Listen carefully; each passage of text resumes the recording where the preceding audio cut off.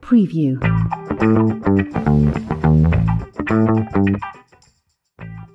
I'm Jim Daly, personal trainer. My mission is to help you get healthy and stay healthy. Preview.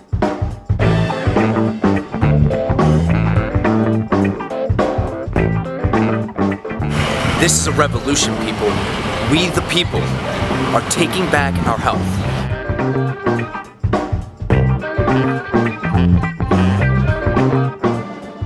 These are the dips. Don't give me any lip. Just do the dip. This is Chris. He's a real estate mogul, so he doesn't have enough time to work out. So I'm gonna show him how to get it in where he can fit it in while he's driving. What you know about it? So, right now, you're breathing in through your nose.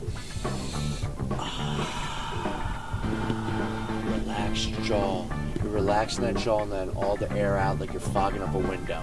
And let me tell you, if you're getting food through a car window, it's not real food. It's about real food, and you know that.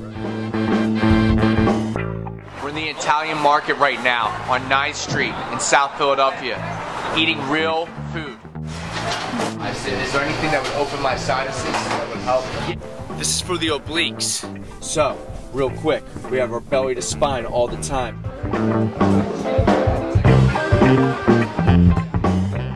Well, exercise and nutrition equal each other. It's about equality. They, they, they, you can't do. I tell my clients like you can't just exercise and then eat junk. vitamin uh, Fe, Oh, eh, oh, okay. Fe iron. Vitamin. Iron. Oh, and iron. Ah. Preview. Jim Daly. What's up, Jim Daly? A lot of protein or water-based foods? Like, Pro, I, I drink protein. I, I served in the Iraq War. I'm an Iraq War veteran. Jim Jelly taught me that health is wealth. Now, what was I talking about? Remember, there's something right here pulling on your scalp. I got a string that's pulling your head to the sky. You know, like water in the body equals 70%. yeah, I said it. Let me vent. Let me tell you what I went through. I was getting migraines every grade since fourth grade. Who knew all I needed was to hydrate? You'll feel great when you wake. Wait. Drink some water when some you wake. water when It'll you take wake. you farther. That's right. First things first, quench your thirst. That's right. Here we go. H2O. Feel the flow. Good to go. Good to go. You're the best. Oh, I love you.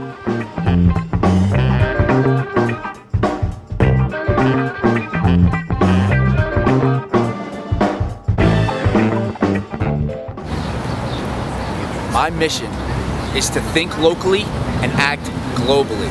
Ah, meant to say think globally, act locally, because we're here in Philly and I'm acting locally.